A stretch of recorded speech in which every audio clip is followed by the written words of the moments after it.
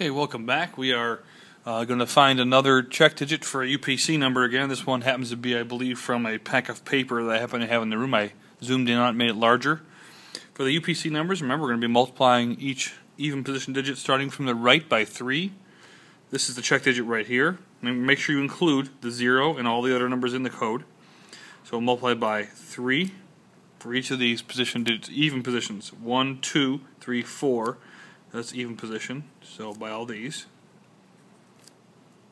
Skip the ones in between.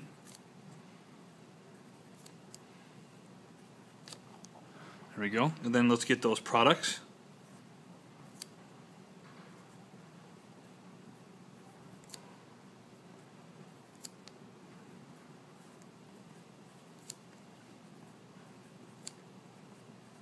And on this three right here.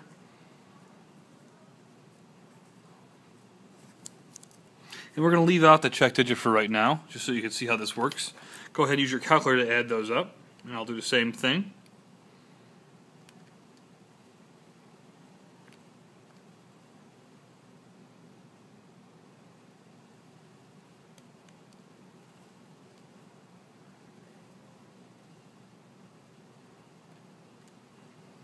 And I got 74 as a sum. So the sum 74.